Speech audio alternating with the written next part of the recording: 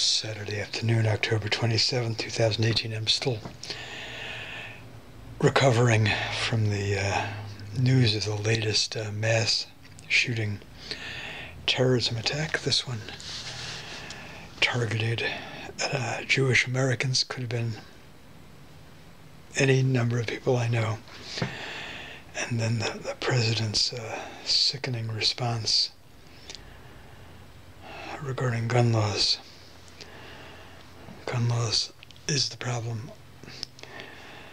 All this kind of an endless litany of uh, mass shootings, which are all terrorism attacks. Anyway, back to work here. I added a bit of color, decided to make her hair into a bit of a bouquet. And I'm looking at this. Uh, I had a flashback to uh, 1976 when I was an undergrad an art professor who shall remain unnamed uh, at uh, SIU Carbondale uh, critically told me that uh, my work was like as if I was an illustrator.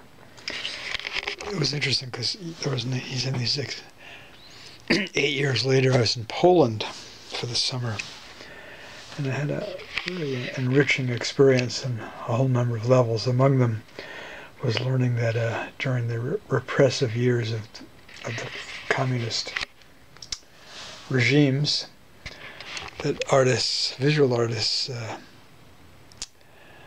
in like 2D, for example, two-dimensional art making, frequently uh, survived by doing what is in the United States considered commercial art, as in like illustration.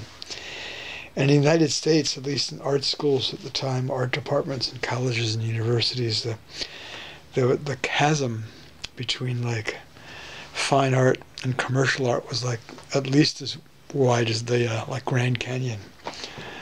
And uh, it was interesting just hearing about artists there who you know would do their own art and then to uh, survive they would do things like book cover art movie poster uh, illustration and so on. There was no dichotomy.